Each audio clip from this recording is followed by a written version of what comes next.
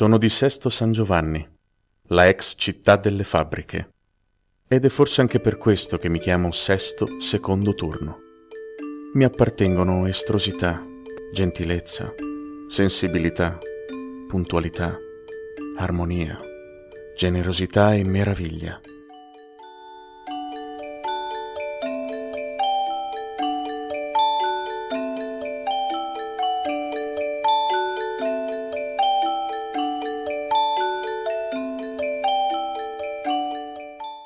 Ho voluto rappresentare l'equilibrio attraverso le pagine di un libro, riempiendole con immagini che si rincorrono dialogando fra loro.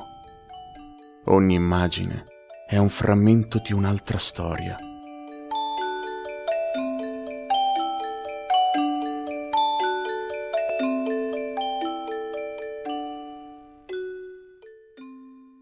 Ma una nuova energia sta percorrendo il presente e il mescolarsi di questi frammenti ci racconta una nuova, unica storia.